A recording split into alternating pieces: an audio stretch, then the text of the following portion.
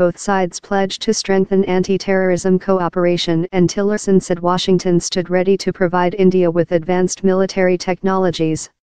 Swaraj said the issue of India's diplomatic and economic relations with North Korea came up during the talks but she conveyed to the top U.S. diplomat that some level of diplomatic presence was necessary.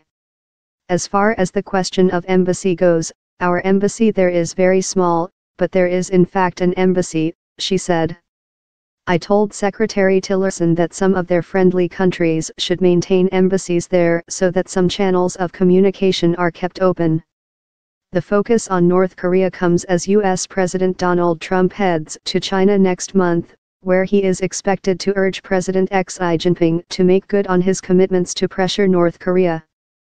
Shoulder to shoulder Tillerson landed in New Delhi on Tuesday night after a day trip to India's arch-rival, Pakistan, which he called an important U.S. ally in the restive region that includes war-torn Afghanistan.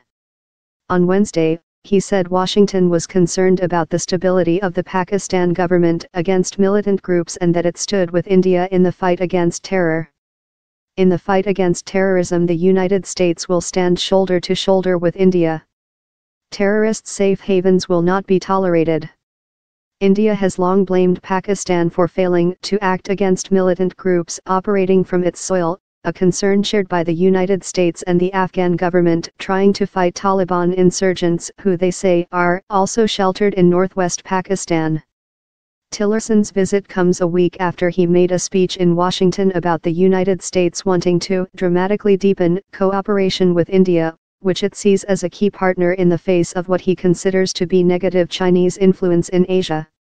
This visit could not come at a more promising time for the partnership, as we celebrate the 70th anniversary of relations between our two countries and look forward to co-hosting the Global Entrepreneurship Summit in, the Indian city of, Hyderabad next month, Alice G. Wells, a senior U.S. State Department official, wrote in a blog post. Tillerson, who toured India on several occasions as an oil executive before joining President Donald Trump's government this year, will meet Prime Minister Narendra Modi later on Wednesday. Fast-growing India is already a major market for the United States, with bilateral trade last year standing at around $115 billion, which the two countries aim to raise to $500 billion by 2022.